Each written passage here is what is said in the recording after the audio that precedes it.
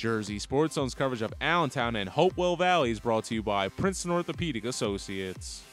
Mercer County Tournament Girls Soccer Semifinals. Four seed Hopewell Valley taking on top seeded and the number one team in New Jersey, Allentown. A gridlock battle in the first half leaves us scoreless at zero heading into the break. Redbirds would change that early in the second act. Emma Pascarella off the corner kick connects with Alex Searing on the header. Allentown draws first blood. They lead 1 0 with 38 to play.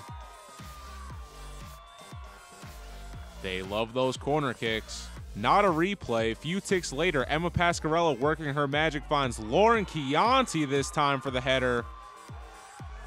Let's run that back. Mean.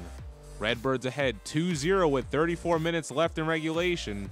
Those two quick scores to open up the second, really shifting the momentum. Olivia Denny with an open look taken down by the Hopewell goalkeeper.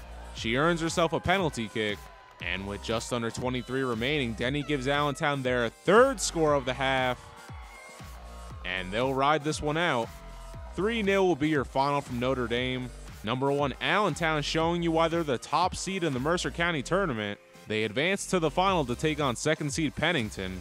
The Redbirds have never won the MCT.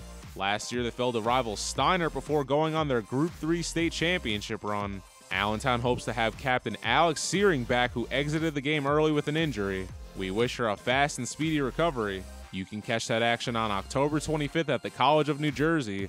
I'm Nery Rodriguez, and you already know it's Jersey Sports Zone.